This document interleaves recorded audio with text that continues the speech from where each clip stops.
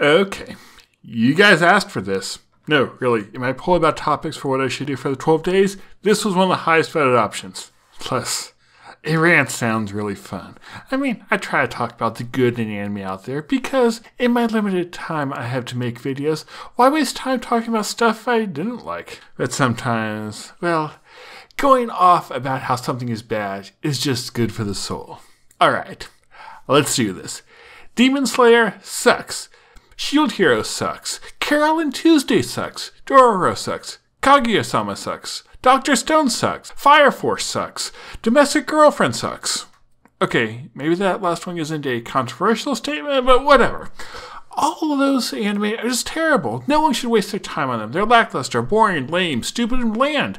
They are overhyped garbage. They are devoid of creative merit. They bring shame upon the entire anime community. And most of all, they suck. Okay, yeah, that was an exaggeration meant to get a reaction out of you. Did it work? Truthfully, though, I don't like any of those shows. They were highly acclaimed, so I was eager to try them, and then I found them all to be let down, so I dropped them.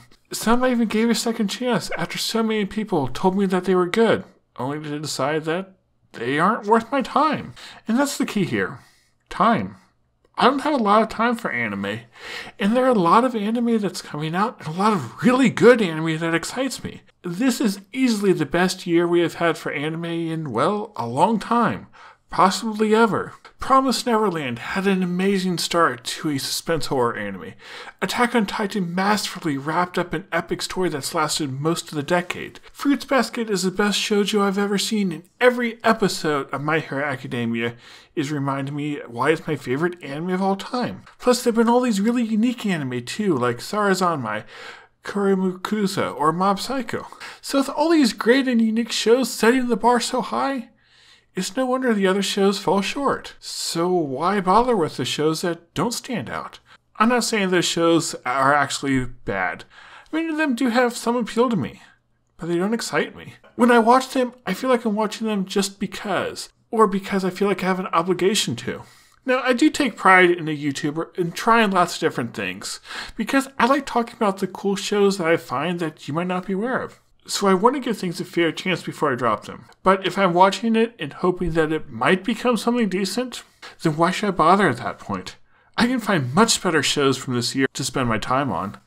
And that's not even counting the many older shows I haven't seen. This year, I was able to take the time to enjoy a number of older shows. Like back after I did my big Anime in 2018 video, I took a break from the currently airing shows to go watch Fate Kaleid. And I absolutely loved it. You probably know that already.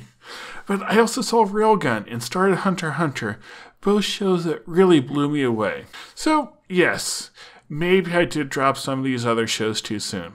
And maybe I would have come to like them. But would it have been worthwhile to keep going with those and to miss out on those amazing older anime? Probably not. But of course, everyone likes different things. So if those shows I dropped you enjoy, go for it. Enjoy them. Nothing wrong with that. It's awesome that you found shows to enjoy. But if you're watching something just because everyone else likes it, why?